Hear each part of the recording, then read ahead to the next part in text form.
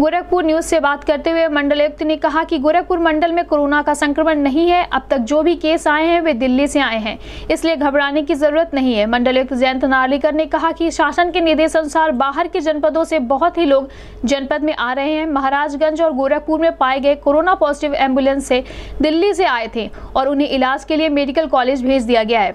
मंडलायुक्त ने कहा कि अब और सतर्कता बरतने की ज़रूरत है। इसके लिए निर्देश दिए गए हैं कि कोई भी एंबुलेंस सीधे गाँव में नहीं जाएगा। पहले एंबुलेंस स्थानीय स्वास्थ्य केंद्र पर जाएगी, जहाँ मरीज़ का स्कैनिंग कराया जाएगा। उसके बाद उसे गाँव में जाने की इजाज़त दी जाएगी।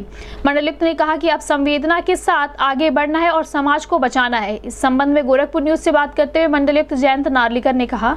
देखिए, जैसा कि पहले केस में हुआ था, दूसरे केस में भी ये दिल्ली से एंबुलेंस में पूरा परिवार आया था। और इसमें एक जो बच्ची बच्ची नहीं, पैंतीस साल की जो महिला हैं, संगीता, उनका नाम है, उनको पॉजिटिव पाया गया है।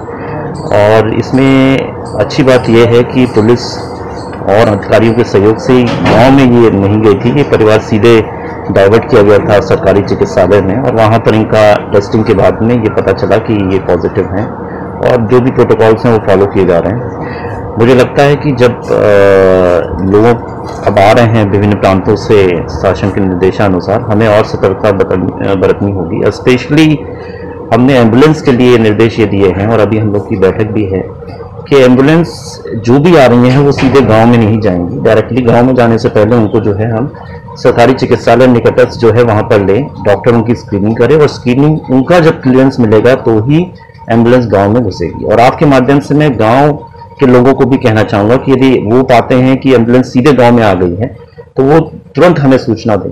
उनके पास 112 नंबर है कंट्रोल रूम नंबर है सीएमओ सारे नंबर हैं, वो तुरंत सूचना दें।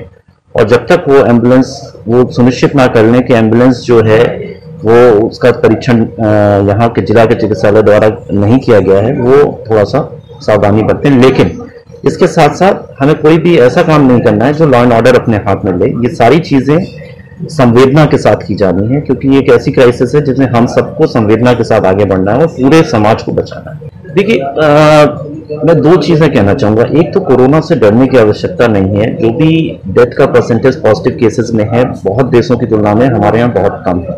और ये तभी होता है जबकि ये पूरी एक आंदोलन जो इससे बचाव का जन सहभागिता के साथ चल रहा है, उसमें सभी ने अपनी भूमिका निभाई है। यदि कोरोना का कोई पॉजिटिव मरीज़ है या संदिग्ध मरीज़ है, उसको सामने आना चाहिए। ये इसमें डरने की आवश्यकता नहीं है और हमें एक्सेप्ट करना होगा कि हाँ हमारे यहाँ पॉजिटिव है। इसमें कोई आ, हमें जो है भयभीत होने की आवश्यकता नहीं है। हम पहचाने कि कोरोना पॉजिटिव कहाँ है हम उसको जल्दी पहचाने उसके और कॉन्ट्रैक्ट को ट्रेस करें और सभी को हम हॉस्पिटल में ट्रीट करें नियमानुसार ये हमारी प्राथमिकता है। महाराजगंज का जो केस आप बता रहे हैं वो चालीस साल का युवक है और वो भी एक वीक पहले मुझे बताया गया है दिल्ली से आया। और तो बेसिकली मुझे लगता है जो हमें रिपोर्ट आई है कि हमारे मंडल में और जनपद में कहीं बहुत संक्रमण नहीं है। ये दिल्ली से जो लोग आए हैं, उनमें ये दोनों तीनों केस हुए हैं। और इसलिए जो लोग बाहर से आ रहे हैं, हमें बहुत सावधानी बरतनी होगी। हमें घर के अंदर भी बरतनी पड़ेगी, लेकिन हमें बाहर भी ये सावधानी बरतनी होगी और इसके लिए हम प्रयासरत हैं।